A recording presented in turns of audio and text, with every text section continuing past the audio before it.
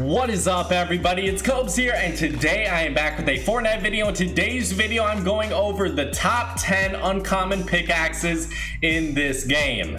So there are only 10 uncommon pickaxes in this game and they're one of the cheapest items, especially if you just want a pickaxe, you know, you could go for a very simple and clean design with any of these pickaxes. I would totally recommend getting one of these if you don't already have some because they're so cheap and and personally, I just love using pickaxes. If you already have that skin you love and you use it all the time, then get a nice pickaxe to complement it. And I do think a lot of these just match up with almost every skin. If you guys want to, vote in the poll in the description for tomorrow's video because I do like doing these types of videos where you guys vote and then we kind of compare our rankings, our answers, whatever they may be. But we're going to do that for tomorrow's video. I don't know what that video is going to be based on. Before we get started though, make sure to tell me what your favorite uncommon pickaxe is in this game and drop a like, subscribe, and turn on those notifications, guys. I appreciate all of you so much. So at our number 10 spot for a pickaxe that I bought when it first came out, I don't know why I bought it. I really don't know why. I think someone donated to me in one of my streams and said, hey, buy the codename elf. I had some extra V-Bucks from that donation. So I ended up buying this one. Was it worth it? No, it wasn't because it's at our number 10 spot. It was the you shouldn't have. And this one was rare at a time and place. It was rare um, a long time ago, I'll just say that. I don't know why exactly it came back out. It really ruins it for me because it was rare. It was. And it would have been so cool to have a really crappy pickaxe as one of my rarest items. But sadly, they brought it back out. It doesn't really make sense why they brought this one back out, but they didn't bring the candy axe back out there's really no rhyme or reason for why Epic Games does anything. It, it, seems like the Candy Axe would sell a lot more than, let's say, the You Shouldn't Have, because the You Shouldn't Have is terrible, the Candy Axe is amazing. But this kind of pisses me off. Did you guys buy this one early on just because it was so cheap?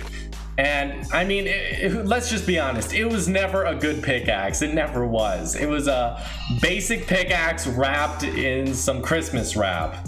I mean, come on, man. Come on, Epic Games. Why did you have to do this to me? This one actually pisses me off. Bring back the Candy Axe. Hashtag bring back the Candy Axe.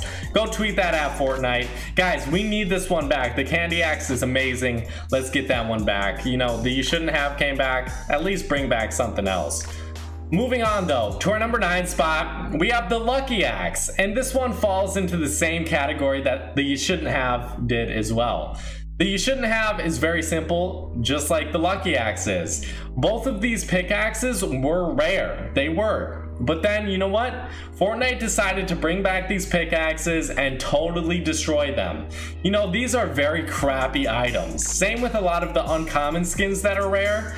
These ones are crappy, but they were cool because they were rare. The Lucky Pickaxe is one of the rarest, or it was one of the rarest items ever to be implemented into this game.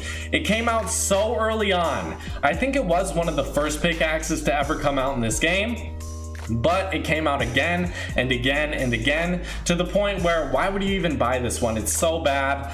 I, I, did like it when it was rare because I do think it's kind of cute you know, it has some smiley faces on it. I wish they put like, you know, the Nirvana smiley faces on it. That would actually make it pretty cool, but the Lucky Axe, it suffers the same fate as the Shouldn't Have. It was cool for being rare, but now that it's not rare, let's just be honest, it's a crappy pickaxe that no one in their right mind would buy. Moving on to our number 8 spot, I gave it to the Tactical Spade, and overall this one's a very simple pickaxe design. This is what I would expect from an uncommon pickaxe. If you want something that's just super simple, that's not going to like stray away from anything you use, like a skin pickaxe combination, it's not gonna, it's never not gonna work. It's always gonna work with whatever skin you use. Then you should buy this one. I think there are some better examples of pickaxes that work with anything and everything, but Tactical Spade, it's all right. It just didn't really um, compare to any pickaxes above it. So Tactical Spade, you know, if you want it, you can get it. I'm just not recommending you buy it. Moving on to the number seven spot. I gave it to the Patty Whacker. And this is one of the greasiest, most disgusting pickaxes that I like. you know, there's some items in this game, sort of like the tomato head, that I don't necessarily like because it's just a little bit too greasy. It's a little bit too, like, just that's it. It's not even ugly necessarily, it's just greasy. And the Patty Whacker, it does have a decent design, very simple. This is what you'd expect from an uncommon pickaxe. But for me, it actually does work out a little bit more in game. I would totally recommend you buy this pickaxe. Uh, if you want something greasy, kind of funny, sort of memey, then just go out and buy this one if you want to. Moving on to my number six spot, I gave it to the Elite Cleat. And for me, the Elite Cleat is pretty cool. You know, the all gold design, that's pretty cool. We haven't really seen that too often before. I don't know if we've seen anything like that before. The pickaxe itself, it does have a pretty heavy sound, which it does look like it would be pretty heavy. I don't know how heavy gold is, but just from the looks of it, it looks like it would be pretty heavy. You know, it's made out of some sort of metal. Um, inside the gold, that's obviously fool's gold. Let's just, come on guys, let's be honest. Epic, are they really out here putting gold on stuff? I don't think so. These are the cheapest cheapskates of this universe. Epic Games, if they're not making money, they're not well, I don't know. They'll probably just release the Skull Trooper, Gold Trooper, any Christmas skin. If they're not making money in the near future, all these skins will be released. Trust me on that, guys. but the Elite Cleat, a very heavy looking pickaxe, a very heavy sounding pickaxe as well. It, I don't know. I don't like it for that reason. For, for the most part, I'll like the lighter pickaxes. I, I know at our number three spot we have another very heavy pickaxe, but for me the Elite Cleat just it's all right. It's mid tier.